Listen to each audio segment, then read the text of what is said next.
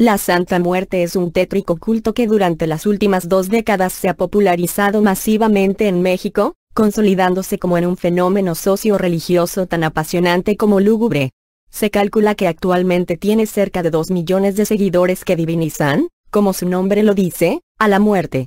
Recientemente se arrestó a ocho personas, vinculadas a este culto, quienes están acusadas de practicar sacrificios humanos con dos niños, ambos de 10 años de edad, y una mujer.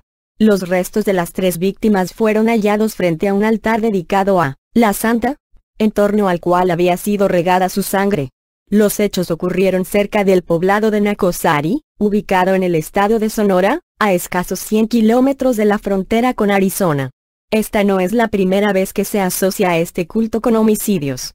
De hecho, sus orígenes están estrechamente vinculados a la delincuencia, ya que en un principio la gran mayoría de los adeptos eran criminales que confiaban a la, la santa, el éxito de sus correrías. Para el arzobispo de Hermosillo, quien no conoce a Dios, a cualquier palo se le hinca, arrodilla. El pastor también expresó que hasta antes de los recientes sacrificios humanos, solo se conocía de muertes de animales, como gallos negros, a manos de los seguidores de la Santa Muerte. Monseñor Macías Salcedo también subrayó que los recientes asesinatos protagonizados por los sectarios mexicanos, es un hecho que nos tiene que doler, debemos acercarnos más al Señor. Para el arzobispo, es incongruente que los fanáticos de la Santa Muerte, hagan, por un lado, veneraciones, pero por el otro quiten la vida. Santa Muerte o Santísima Muerte es una figura de culto mexicana, que recibe peticiones de amor, afectos, suerte, dinero y protección, así como también peticiones malintencionadas y de daño a terceros por parte de sus fieles. Sin embargo, diversas iglesias como la católica, bautista, presbiteriana, metodista, entre otras, rechazan y condenan su veneración, considerándola diabólica. En ocasiones su culto es vinculado a distintos tipos de delincuencia como el narcotráfico, asaltantes y personas de distintos estratos sociales que se dedican al comercio informal, ambulantaje o piratería. Sin embargo, es un error pensar que el culto a la Santa Muerte es solo practicado por personas o grupos delincuenciales, ya que el culto a la muerte, proviene desde los prehispánicos.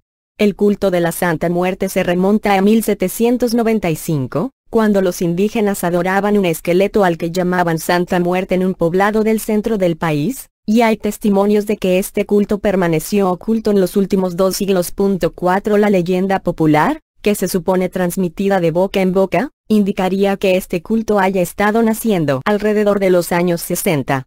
Cuando en Catemaco, Veracruz, México, un local vio la figura de la Santa Muerte dibujada en las tablas de su choza, fue a pedirle al cura local que verificara la imagen y la canonizara, pero este se negó rotundamente tachándola como rito de satanismo, de ahí que este culto se difundiese de persona a persona, sin tener una organización fija, por el temor a ser visto como satánico. Por lo menos, hasta el día de hoy.